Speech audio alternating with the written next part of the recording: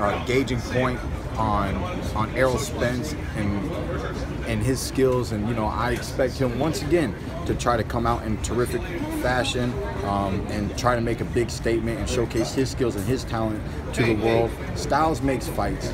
You know he's a he's a tremendous athlete. I expect great things from all the whole world of boxing expects great things from him. Before um, I, I, at one point I was prospect of the year. Errol Spence was prospect of the year. Um, I see him as somebody who's a few steps behind. You know, I expect him to catch up very soon, and I look forward to the challenge when the challenge presents itself. You know, um, obviously everybody knows it was Floyd Mayweather who chatted in his ear to originally, you know, say my name out of uh, his mouth. I believe. I mean, I wasn't even there to there to watch his fight. I was there to watch the other fight, so I missed his fight. And someone said that, oh, he, he just called you out. He just called you out, Keith. But he he actually said Floyd's name first, or something like that. You know, so it just you know, someone was telling him what to do, what to say. Um, but obviously, if you're not going after who's number one what did I do when I first hit HBO? I called out Paulie. I called out Mayweather. Yeah. You know what I mean? I called out everybody. You better you know? not duck me, son. You better not duck me, son. You know? So, you know, since then, I've calmed down. One thing that helped calm me down is being the champion of the world. I am the champion of the world. I have the belt. You know what I'm saying? So there are other belts out there, and I'm, you know, I try to be adamant saying that I do want to collect more than one. I do want to make those uh, fights happen. But um, like I said, man, about um, EJ, man, you know, I look forward to his rise and him coming up and the challenge when it does truly present itself. And Keith, about the, the, sparring, I know that you kind of put it out there a little bit. You showed it to people. I know it was on the All Access Online. What made you want to put it out and show it to people? There was a lot of talk about it. Y'all motherfuckers kept talking about it, man. Asking such a simple old question, man. Oh, uh, we heard this. And Kenny said that, and da da da. And then you know we had uh we had their boys from Vegas down in our gym, and then he was like, "Yo, I get to see the tape. I get to see the tape." I said, "Yeah, you get to see the tape." So I brought the tape to the gym. He came to the gym. He said, "I to see the tape." He says, "You mind if I film it?" I said, "No, I don't mind you filming." Then he goes, "You know, you mind if I post it up?" I said, "Post it up, man. I mean, we about to throw down." give the fans a preview. Everybody knows that there was a sparring session. Everybody heard this. Everybody heard that. There's a preview. Even with that, both fighters can say, no matter how you feel about that, that was over three years ago. This fight's going to be a different fight. Yada, yada, yada. It is. The fight is going to be a fight. Sparring is sparring. Fighting is fighting. Sparring is not judged. In the fight, it will be judged. That sparring session, I was, my hands were carrying 20 ounce gloves. I saw that. I'm going to be carrying eight ounce gloves. You know what I mean? Mm. So the the real stakes are on the line Saturday night. Both careers are on the line. My title is on the line. My undefeated record is on the line. You know, it's a it's a great fight. It's a great match. there are a lot of fighters who are considered pound for pound king, but for some reason they don't mention your name very often. And you're right up there. You haven't lost. You're winning you consider yourself the pound for pound king right now, or right up there? Um, you know, yeah, please. I do believe that I deserve to be on the pound for pound list. Um, there are there have been setbacks in my career. You know, I have been fighting twice a year for you know the past three years. Um, but with, with my record, I do believe that I deserve to be pound for pound. And I believe with a KO victory um, mm. Saturday night, that would easily solidify a position if I don't already carry a position in the pound for pound rankings. Do I believe I'm number one pound for pound? I say no. Um, I do believe that I will have many opportunities to strive for that in my career. Um, and um, and I, and I look forward to that opportunity. We spoke Keith. to Sam Watson, and he said you had such humble beginnings. They used to come with a moped to the gym. What kept you going? And I said, forget this. I'm going to get a job and make some money. Because I'm sure it wasn't easy. um, luckily, um, I've always had support. Right, I was thousand dollars a month um, from Al Haymon, and with that $12,000 for the year, you know, I was um, able to live, man. You know, I was um, living in my mother's house, and I, I, made a decision at the age of uh, um, 18 years old you know, I grew up thinking a little mad, pretty rebellious, thinking I was gonna move out right away. But I said, okay, you move out, you're most likely gonna have to pay 500 a month somewhere, this, that. You know, you might have to get a roommate to save some money. You know, your roommate might suck. You know, like, they might lose their job and not pay their bills. You know, um, you know, you don't like doing dishes. I just wonder if they're gonna like doing dishes. You know, I just, I just knew the, the chaos of reality, right?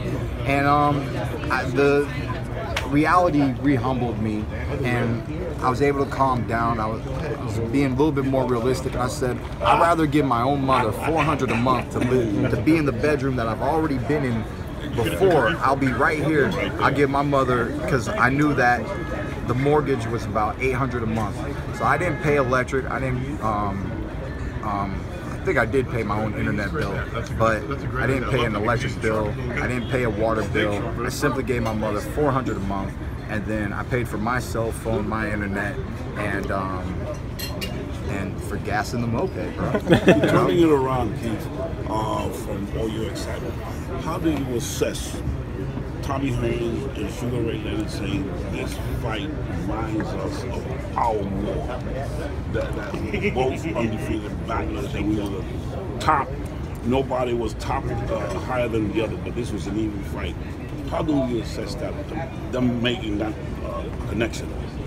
You know, it's um, it's beautiful. I, I didn't know that that was done. So um, you know, that's uh, that's that's uh, that's great, man. Because like I said, man, I remember being a kid, and um, for Christmas, um, I got a book, and it was a boxing book, and they had black and white pictures and had all the old fighters in it. And I remember, like, you know, I want I want to be in a book like this one day. I want another, and I was I was like probably maybe nine, ten years old, and I literally said, I want one day for a kid my age to find a book like this, flip through it, and for my picture to be in that book. And I was 10 years old.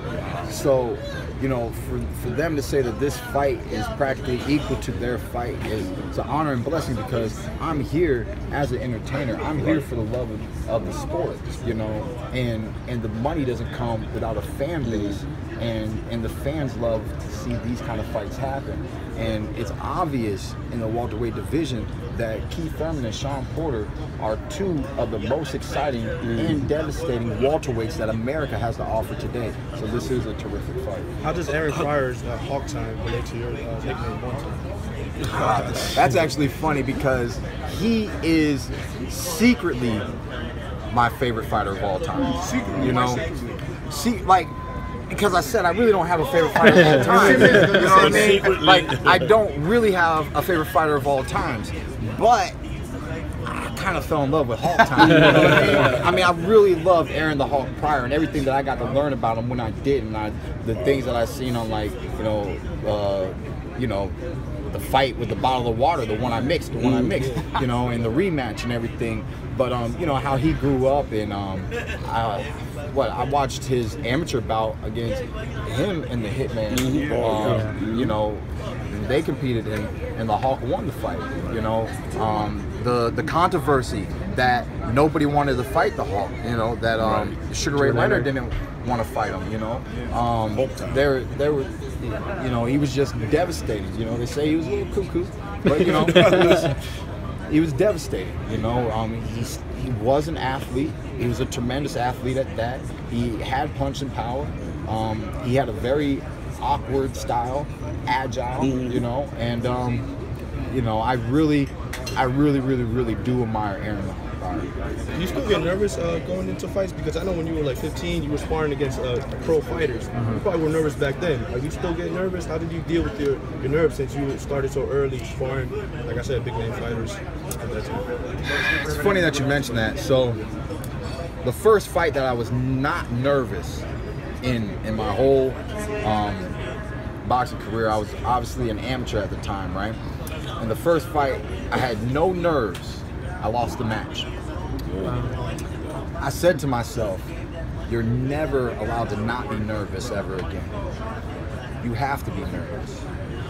You, there- you can always lose."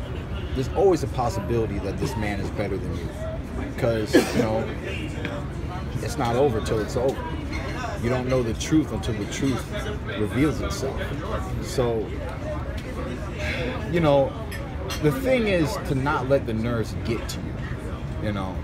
But I enjoy them. I enjoy the internal battle of, you know, of of doubt trying to set its way into my heart and then my you know my will and everything throwing doubt back out you know? So it's it's there's like a play of emotions that happen before the battle.